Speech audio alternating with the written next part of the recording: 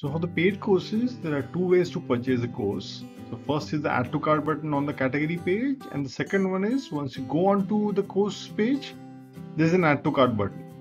So for most, most of the courses, uh, there's something called as course preview. So if you click on that uh, course preview, you'll be able to see what the course is all about. So let's uh, purchase this course. Let's click on the add to cart button on the course page.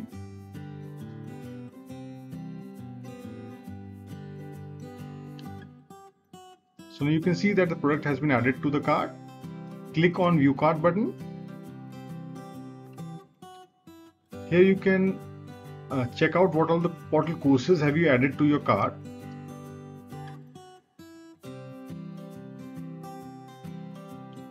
Now let's check out uh, our, our, our products. So if you have any coupon code, you can add your coupon code over here. So this is where you add any coupon code if you have and post that you have to fill in all the details.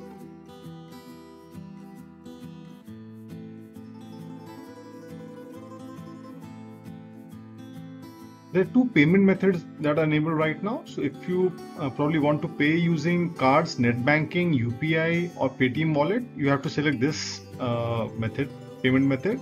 If you want to pay using paypal you have to select the paypal payment method. So let's try and uh, do a payment using uh, credit cards. Click on the place order button. It will take you to the payment gateway page. Now we have an option of paying using Paytm.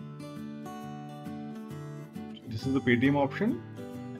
You'll have to add your Paytm mobile number and then it will link to your Paytm account and you can pay. This is the debit card option. This is the credit card option. If you have to pay using UPI, you can select this option. And the last you have net banking option. So for example, right now if you want to pay using credit card, select the credit card option and add in your details. So once uh, you add the details and the payment is successful, you'll return back to the Handmade Courses website. This is how your payment success page looks like on the Handmade website go on to the dashboard and check if the course that you just purchased has been added to your enrolled courses or not.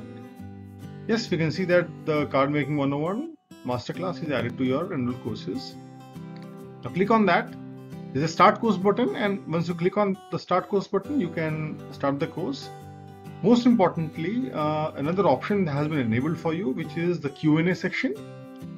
In the Q&A section, you can ask any question that you have regarding the course to the teachers and they'll reply you back as they do in a regular classroom.